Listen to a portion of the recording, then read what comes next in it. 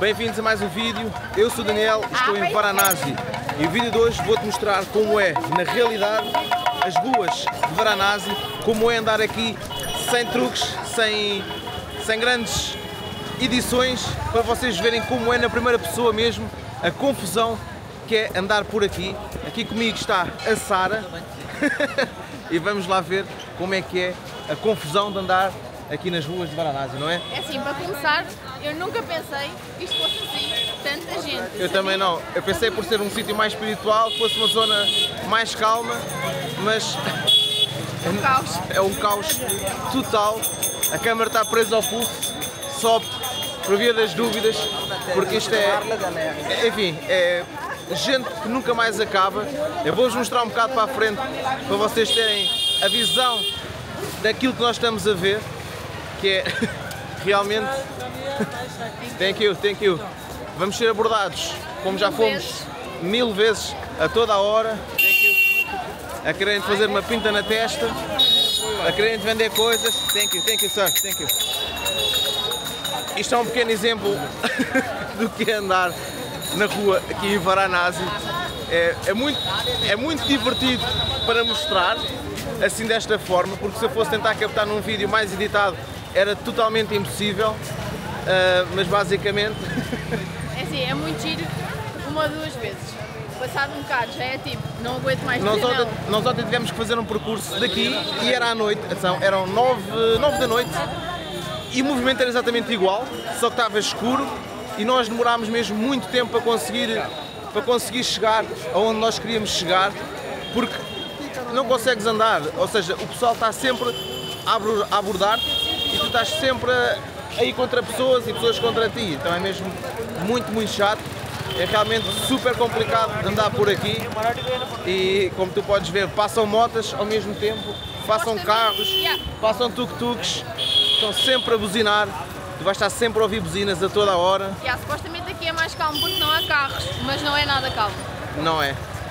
Portanto, tu vês, vem motas ao mesmo tempo que as pessoas e tu tens que andar aqui assim no meio um bocado perdido, passar aqui assim mais para o lado, pode ser que, que a gente consiga movimentar um bocadinho mais. Mas é realmente uma, uma loucura, é uma loucura. E aqui nos lados tu tens muitas lojas, pá, essencialmente que vendem vestidos, que vendem lenços, mas depois também vendem algumas malas e acabas por encontrar literalmente um pouco de tudo, para além também de te abordarem mil e uma vezes para saber se tu queres comprar droga, Yeah. se tu queres eh, uma tour, se tu queres andar nos tuk-tuks, Tu queres uma massagem nas mãos, massagem nas mãos, enfim, vão-te abordar mesmo por eh, toda a hora por coisas diferentes e depois vais encontrar também ao longo do passeio algumas comidas de rua, tipo isto, que eu não sei minimamente o que é que é, mas são algumas coisas. Um helicóptero, por exemplo, dá para teres um helicóptero. Ok, eles aqui vendem muito helicópteros. Hello, estão a hello, ver? twice, twice. Thank you. Thank you. Aye. Thank you, thank you. Hello. Eles querem vender um helicóptero. Por que raio é que eu havia de querer um helicóptero? Não sei. E agora vem atrás de nós com o helicóptero na é mão. muito complicado. Agora este, este é o tamborzinho. Oh my god. Olha para a conta. Thank you, thank you. Don't need money. Thank you, thank you, thank you, sir. Agora estavam a abordar para trocar dinheiro. Thank you, thank you. Ok, isto está caótico. Vira para a frente para eles verem. É realmente um mar de gente para a frente e como nós já andámos, é também um mar de gente para trás. É realmente muita, muita gente. Aqui, esta zona que nós estamos a aproximar é um cruzamento que é o centro aqui da cidade antiga, que é Godovilla Crossing. Pá, é uma loucura. É ali uma estátua que tem uma vaca em cima, o Daniel depois já mostra. Olha para isto, é, é completamente surreal.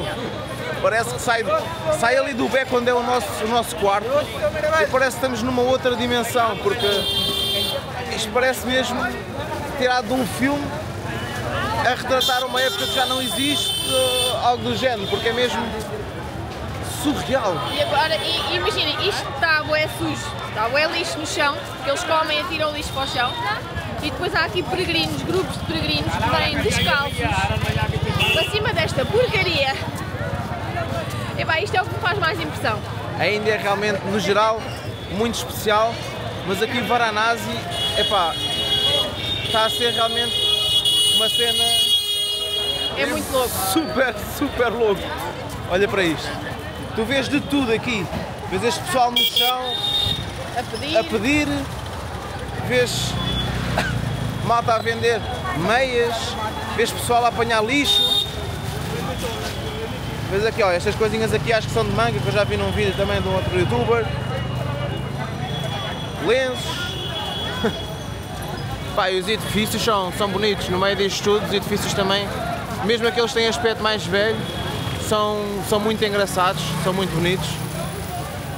Isto na verdade é tudo velho. Varanasi é uma das cidades mais antigas do mundo. Ok, que isto vai tendo umas remodelações, uns prédios grandes, mas é tudo muito velho. Ok, chinelos, se precisares de chinelos, tens aí chinelos, carteiras. Esta aqui é o centro aqui da Toda Villa Crossing. Goda Villa Crossing. Lá em cima tem uma vaca, a vaca é sagrada aqui para eles. Queres ir para a direita ou para a esquerda? Escolhe tu. Para a direita. Vamos para a direita? Sorry, não tem que Agora era abordar para irmos de tuk-tuk. Isto é realmente. Epá, eu acho que é impossível alguém gostar 100% de estar aqui.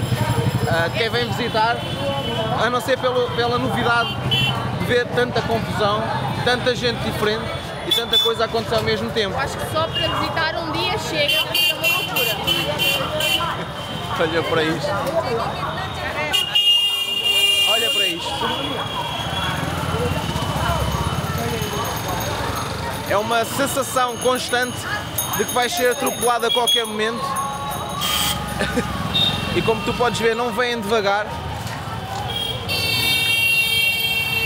É realmente uma loucura. E o pessoal muitas vezes tem cara mesmo de alucinados. É, é mesmo super, super estranho. Tudo o que tu vês por aqui. Acho que assim, num vídeo destes, tu consegues ter a noção real, não é? Yeah. Do que é andar por aqui. Lá está, como eu disse no início, não é um vídeo programado, não é um vídeo com cortes, com muitos cortes, é, é basicamente mostrar, se ligar a câmera, sair do nosso, do nosso hotel e vir para aqui para o meio da rua e mostrar-te o que, é que, o que é que está a acontecer. É para terem o mesmo primeiro impacto que nós tivemos assim que saímos dali do nosso cantinho, porque nós chegámos à cidade, eram tipo 6 da manhã, não havia grande confusão. Ok, havia muita gente, thank you. Havia muita gente, mas não tanta confusão, e de repente quando nós saímos era tipo a loucura. É, realmente é, epá, é, é um choque muito grande. Ó, é um choque mesmo enorme. Tu vais encontrar eh, confusão, esta confusão a toda a hora do dia. A partir da manhã já encontras, mesmo, mesmo à meia-noite tu encontras muita confusão aqui nesta parte do centro. Agora, atenção que Varanasi não é assim tão seguro como parece. Eles tiram-te o telemóvel, tiram-te a câmera, tiram-te o dinheiro, então tirar-te os bolsos, andar sempre com as malas para a frente. Fomos avisados por toda a gente, basicamente.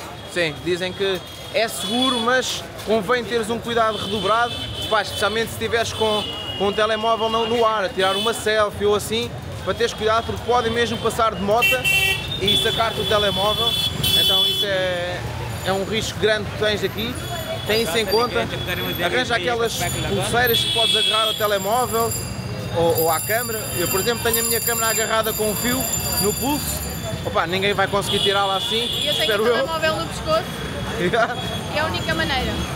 Mas isto é. Epá, eu vou mostrar um bocadinho aqui mais das ruas. Como tu podes ver, isto é mesmo. Continua sempre eh, o movimento. Mas depois tu tens mesmo alguns restaurantes, banquinhas de rua também, em que podes provar alguma coisa se fores forte do estômago. Olhem para isto. Eu pensei que já tinha visto muito trânsito quando andei pelo, pelo Vietnã, mas realmente aqui é uma, é uma cena totalmente diferente. Em termos de comparação, É pior. é muito, muito pior para mim. É, é muito mais assustador, por assim dizer. Olha para isto. No Vietnã parecia um bocadinho mais seguro mesmo No assim. Vietnã, eles, mesmo que fosses para o meio dos carros, eles paravam para tu passar. Eles aqui não param. Aqui não param, é super difícil atravessar as estradas dos cruzamentos. Então é, epá, é, é mesmo surreal. Vá, É- é acho que é a mesmo- palavra certa. Yeah, vou dar o conselho que nós também temos feito, que é vemos uns gajos locais a atravessar e usamos como escudo humano e metemos-nos atrás deles. É, não tens grande, grande hipótese aqui, porque realmente isto é. pá. É Olha o que agora. vocês veem. Mas olha agora, Agora parece que acalmou aqui. Realmente esta também não é a zona mais, caótica. mais caótica como era ali o centro. Mas assim acaba por vos mostrar um bocadinho mais das ruas. E mesmo aqui tu tens muitas das ruas, elas têm todas assim muitas pinturas, tudo mais ligado às, às, às figuras que eles acreditam. Dos deuses. Dos deuses deles. Vais encontrar muita comida de rua também. Ontem provámos isto. Epá, não, não sei, provem. Provem, mas não, não, Não vão com muita expectativa.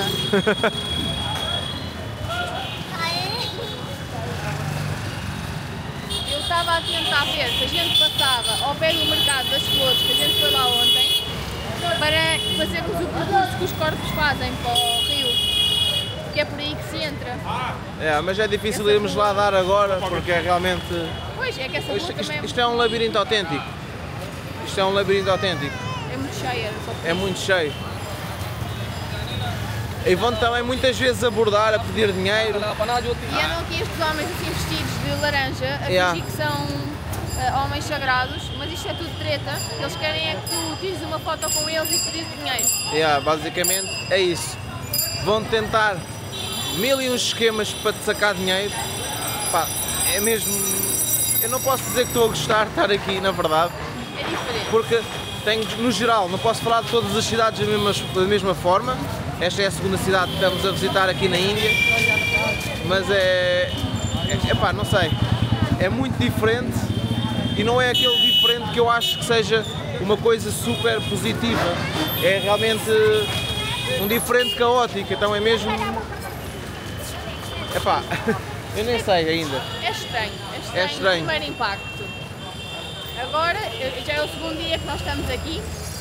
Agora já não é tão "Ah", como no primeiro, mas à mesma chega a dar um bocado de ansiedade social, tipo, preciso de descansar a cabeça.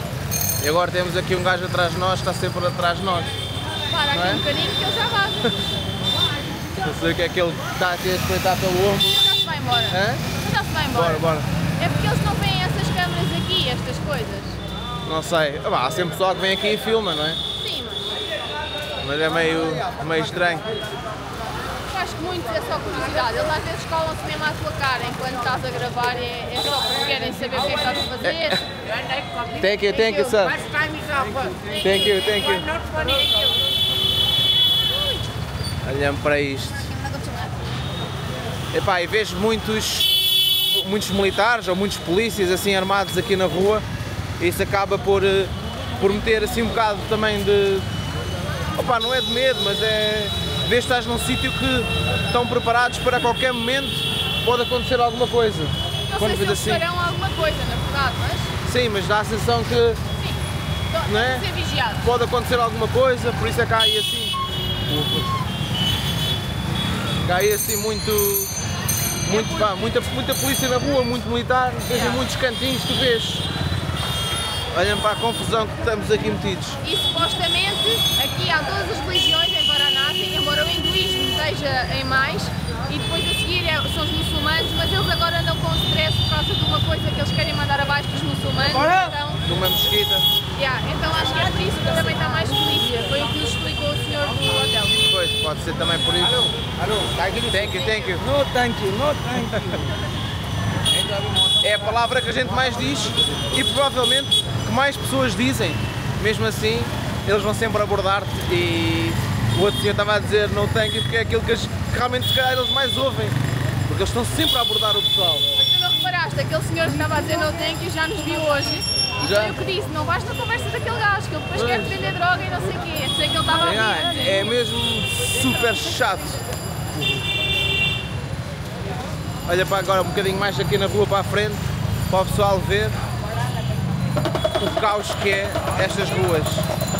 A quantidade de informação visual, de barulho e de coisas diferentes que tu vês ao mesmo tempo é, é muita informação. Basicamente é isso, muita informação visual, auditiva, mas pelo menos em termos de. Já ia ficando aqui esmagado. Em termos de cheiro e assim não é, não é tão mau como eu pensava que ia ser. Aqui até é assim mais, mais tranquilo. Pelo menos isso. Em termos de cheiro não é assim muito mau. Mas no geral Era ali, Flower é caótico. Fogo. Era ali mercado das flores. Yeah. Está ali uma confusão, nem dá para entrar. como tu vês. Eu nem sequer sei se o áudio vai estar aceitável, porque a quantidade de buzinas que se ouve é realmente epá, um barulho ensurdecedor. Quando nós chegarmos a casa. Queres entrar para aí? Não, não, não é em frente. Quando nós chegarmos outra vez ao quarto, acho que vamos ouvir um zumbido do silêncio. Às vezes o ouvido fica tapado mesmo com as buzinas. Yeah. Quando chegas a casa é. Ó, aqueles senhores. Tem que, tem que. Aqueles senhores eles queriam pôr-te uma. uma pinta na testa que eles dizem ser de sorte. E depois, claro, eles fazem-te a pinta da sorte, mas pedem dinheiro em troca. E há o Bini. É, epá, eu, não- eu por esse motivo é que é uma coisa que eu não estou a gostar assim muito de- desta parte aqui, porque realmente é, epá, é caótico, estás a ver? É caótico. Olha para a quantidade de pessoas que tu vês por aqui. É mesmo muita, muita gente. Olha para isto.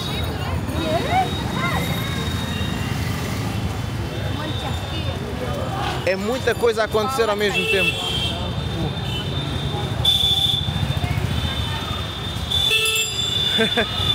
Olhem para isto.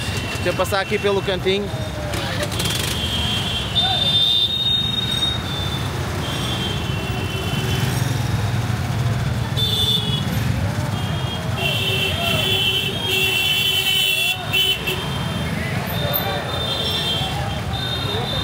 Não é que eu fosse ingênuo e não soubesse que havia assim tanta confusão na Índia. É óbvio que eu sabia. O que eu não pensava era que em Varanasi fosse ser assim, porque é realmente muita, muita confusão. São filas e filas e não dá para perceber ao certo. Às vezes se é um tempo ou se para o que é que é. Porque, olha para isto, é muito, muito complicado passares aqui. Olha para isto, e empurram-te, estás a ver? E empurram-te. Aí, é, man, isto é super, super intenso. E nós pensamos sempre, cidade sagrada, ok, vai haver mais silêncio, vai haver tipo uns mantras e não sei o quê. Tipo, ah, mas não há em todo lado, é, mais. É surreal. É? Olha aqui para a frente tu vês mais polícias armados, mas armados a sério, não é?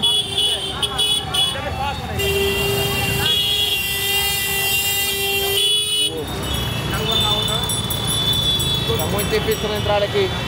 Queres entrar para aí para dentro? Não, não. Vamos continuar em frente.